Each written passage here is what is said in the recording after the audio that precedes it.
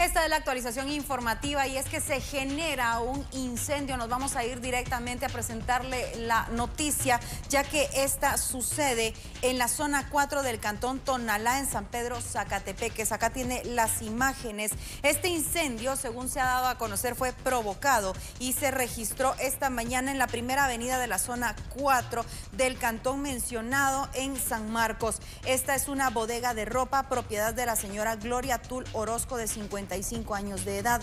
Según ya han dado a conocer testigos, una persona de sexo masculino fue descubierta robando en esta bodega. Al ser descubierto, los vecinos lo acorralaron y para evitar que eh, ser capturado, este hombre prendió fuego a la bodega. Bomberos municipales departamentales de San Pedro Zacatepeque, San Marcos, a bordo de la unidad BD12, cubrieron la emergencia trabajando por espacio de 20 minutos para así sofocar las llamas. Las pérdidas ya han sido cuantificadas en aproximadamente 50 mil quetzales.